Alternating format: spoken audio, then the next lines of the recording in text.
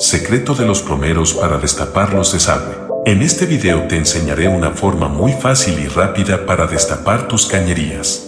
Mira mi fregadero, como podrás notar, está tapado por los restos de alimentos que se desprenden al lavar los platos. Por esa razón es que el agua no puede salir. Para resolver esto, primero le voy a sacarle todo el agua al fregadero.